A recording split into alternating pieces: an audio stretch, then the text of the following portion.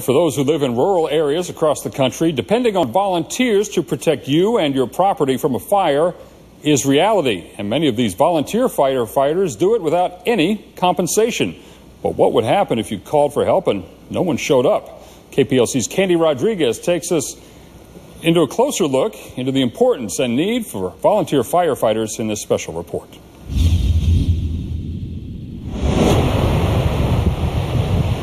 Along the Gulf Coast in southwest Louisiana, you'll come upon Cameron Parish. There you'll find the community of Grand Lake. Dinah Landry is a part of the Cameron Parish, Grand Lake, and Sweet Lake Fire Protection District number 14. We moved into the community and we decided that we might be needed in this area, and sure enough, we were. And if you drive past the station, you'll see this sign calling for volunteers. Well, we're down on our numbers now. We have about eight. That's that's pretty steady. We have four that come and go, and we have some people that want to be trained but just haven't got to it yet. And we are desperately in need of additional firemen. A small number of firefighters for the amount of square miles they have to cover. We cover about 90, 98 square miles, something like that. But since the hurricanes, everybody's moved up this general direction, so we got 3,600 people we're looking at. So, you know, we have an awful lot of construction here. We have a lot of new houses.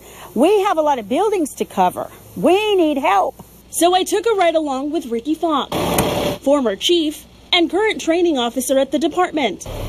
Falk is now retired and dedicates his time to the fire station. I've been a volunteer for 30 years. He joined in 1986, knowing that as a volunteer firefighter he wouldn't be getting paid. So I wanted to know why he does it. It's every time I know people have, have been asked this question, you know, why would you want to be a volunteer firefighter? And I think about it every time I see a little child. I said, they could need help. And uh, if there's nobody to help them, I said, that's where we come in at.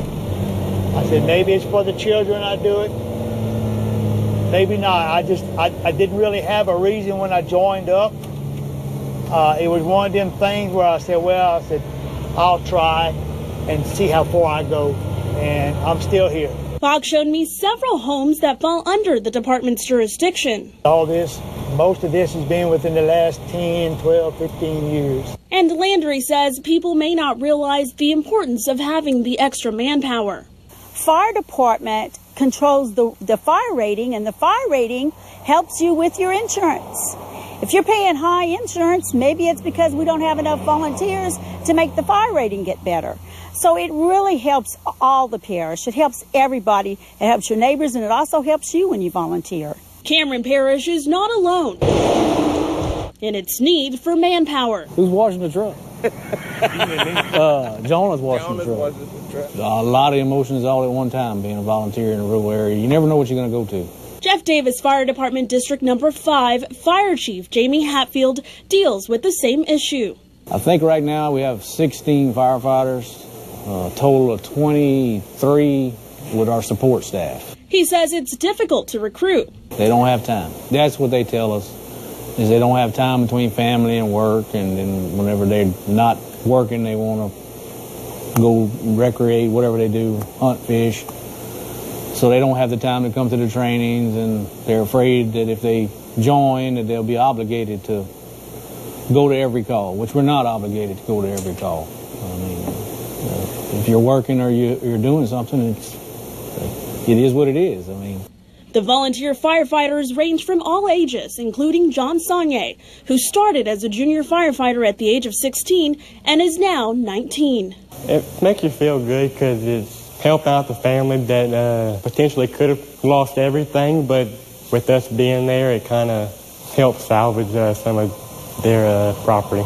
District number 5 firefighters cover 125 square miles in the northwestern part of the parish. And Hatfield says his department has seen an increase in the total number of runs, which he believes has to do with the increase of people moving into the area. And they don't just fight fires. Volunteer firefighters across the area also respond to other calls. They usually page out the fire department for everything. Search and rescue, any kind of uh, uh, extrication on wrecks. we, we run BLS, with basic life support. So any kind of medical call, we're going to be there first.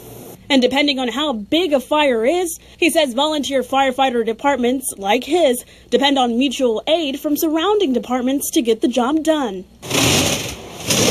One of District 5's aides is over in Allen Parish, led by Fire Chief Blake Lafargue. We protect about 100 square miles uh, from Highway 99 uh, on the uh, west east side of our district, and then also to the uh, Calcasieu River on the west side, up to the uh, Allen Correctional Center on the north and down to Parish Line Road on the south. Lafargue says his volunteer team consists of around 25 firefighters, and they are always looking for more. Could benefit from 40 to 50 volunteers, so we, we, we could grow quite a bit.